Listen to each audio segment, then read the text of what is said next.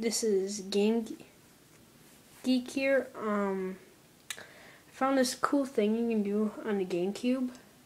I do not have four controllers with me because um, well, I'll talk about later. Okay, so right here's my GameCube.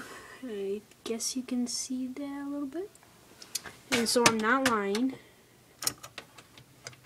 Right here's a game. You guys probably have no clue what I'm talking about. Right here's Need for Speed Carbon, a GameCube game. When you put it in, doesn't have to be this game. Well, you can't see me shutting it, but you'll see the power light on. If you turn it on, you'll see the boot up screen. You see that? It's normal. Now, if I take the controller, turn off the system, turn it back on while holding the Z button. Working, just wait. You need to hold the Z, you need to hold the Z button right here. And then turn the system.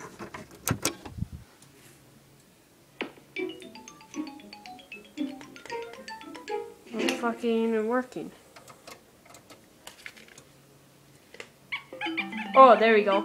It makes this baby noise. Like that. See? You gotta hold the Z button down while you turn on the system. So that's a pretty cool thing I did. And, um, if you have four controllers plugged in, and you hold all the Z buttons on the controller while turning it on, it makes this, like, bonga bonga bonga bonga sound.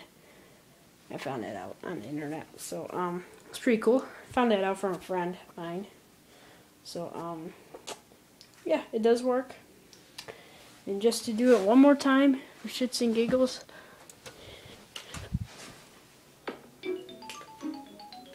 It don't work. See, the thing is, you gotta do it at the right point. Then it'll work. I don't know that point. So just keep on pressing it when the um, GameCube turns on. You might hear that baby noise. So, um, this is a cool Easter egg I found. I don't know why Nintendo would do that. They're kind of weird. but, um, yeah. So, see you later. Bye-bye.